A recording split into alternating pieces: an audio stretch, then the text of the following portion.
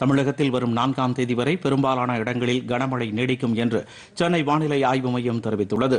தென்மேற்கு வங்கக்கடல் மற்றும் அதனை ஒட்டிய இலங்கை கடலோர பகுதிகளில் காற்றழுத்த தாழ்வு பகுதி நீடிப்பதால் தென் மாவட்டங்கள் மற்றும் டெல்டா மாவட்டங்கள் உட்பட தமிழகத்தின் பெரும்பாலான மாவட்டங்களில் அடுத்த மூன்று நாட்களுக்கு கனமழை பெய்ய வாய்ப்புள்ளதாக தெரிவிக்கப்பட்டுள்ளது.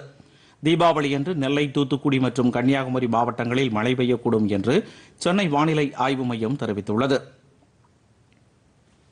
இதனிடையே தொடர் மழை காரணமாக விழுப்புரம் கடலூர் அரியலூர் பெரம்பலூர் திருவண்ணாமலை மயிலாடுதுறை செங்கல்பட்டு காஞ்சிபுரம் ஆகிய எட்டு மாவட்டங்களில் பள்ளிகளுக்கு இன்று விடுமுறை அறிவிக்கப்பட்டுள்ளது.